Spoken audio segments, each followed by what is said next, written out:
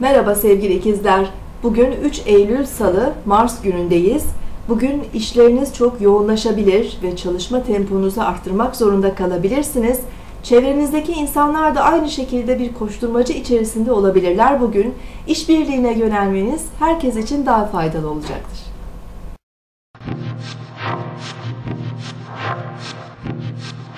Burcunuzu dinlediniz. Bugün 3 Eylül Salı, Mars günündeyiz. Ay gün boyu Aslan Burcu'nda ilerleyecek. Dün akşamki gergin enerjiler bugün e, yerini biraz daha rahat enerjilere bırakabilir. Ay Aslan Burcu'ndayken daha dışa dönük, güçlü, güvenli e, davranmamıza imkan verebilir. Kendimizi daha rahat ifade edebiliriz.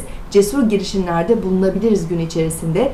E, bunun yanı sıra keyif, rahata düşkünlük, e, ben merkezci tavırlar da yoğunlaşabilir. Özellikle sosyal faaliyetler, organizasyonlar, yaratıcılık gerektiren çalışmalar, hobilerimizle ilgilenmek, çocuklarımızla zaman geçirmek için de uygun bir gündeyiz.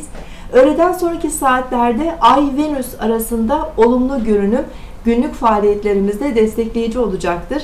Ee, özellikle güzellik, estetik, makyaj, saç, bakım e, çalışmaları için e, bugün uygun bir gün verimli sonuçlar alabiliriz. Ay akşam 20.55'ten itibaren boşlukta olacak.